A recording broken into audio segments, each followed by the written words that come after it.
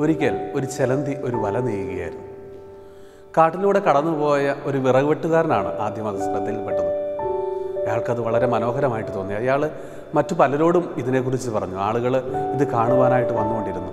സ്കൂളുകളിൽ നിന്ന് കുട്ടികൾ വന്നു. അങ്ങനെ പല ദേശത്തു നിന്നും പല സൈഡിൽ നിന്നും ഒത്തിരി ആളുകൾ ഇത് കാണുവാനായിട്ട് എല്ലാ ദിവസവും വന്നുകൊണ്ടിരുന്നു. ചെലന്തിക്ക് അപ്പോഴാണ് തന്റെ കഴിവിൽ അഭിമാനം കൊള്ളുന്നത്. പതുക്കെ പതുക്കെ അഹങ്കാരം കൂടി. ചെലന്തി മാറി നിന്ന് തന്റെ വലയെ ഒന്ന് വീക്ഷിച്ചു. അപ്പോൾ നോക്കിയപ്പോൾ ഒരു കട്ടിയുള്ള നൂൽ മുകളിൽ നിന്ന് താഴേക്ക് കിടക്കുന്നു. അതിനെ കണക്ട് ചെയ്താണ് ബാക്കിയുള്ള നേർത്ത നെൽ വലകൾ നെയ്തിരിക്കുന്നത്. അത് ചിലന്തിക്ക് ഒരു അഭംഗിയായിട്ട് തോന്നി. ചിലന്തി പെട്ടെന്ന് ചെന്ന് ആ കട്ടിയുള്ള നൂൽ കട്ട് ചെയ്ത് കളഞ്ഞു. പെട്ടെന്നാണ് അത് സംഭവിച്ചത്. ആ ചെലന്തി വല എല്ലാം പെട്ടെന്ന് നശിച്ചു പോയി. പ്രിയമുള്ളവരെ നമ്മുടെ ജീവിതത്തിലും ഇതുപോലെ.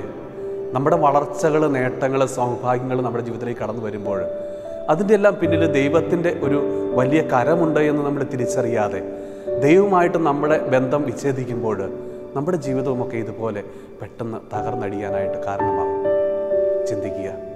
നല്ലൊരു ദിനം നിങ്ങൾക്ക് ആശംസിക്കുന്നു.